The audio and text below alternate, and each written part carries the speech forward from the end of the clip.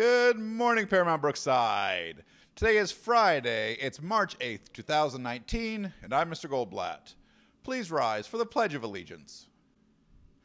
I pledge allegiance to the flag of the United States of America and to the republic for which it stands, one nation, under God, indivisible, with liberty and justice for all.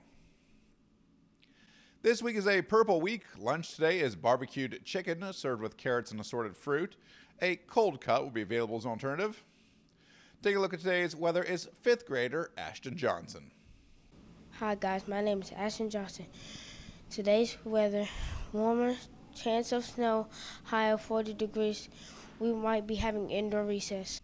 Thank you for that, Ashton. There is robotics practice after school today until 6 o'clock.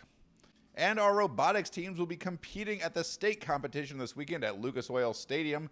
Come on down Saturday. They'll be competing between 10 a.m. and 4 p.m. That's at Lucas Oil Stadium in downtown Indianapolis. And students, as you engage with the world and those around you today, remember, it is in your moments of decision that your destiny is shaped. Make it a great day, Paramount.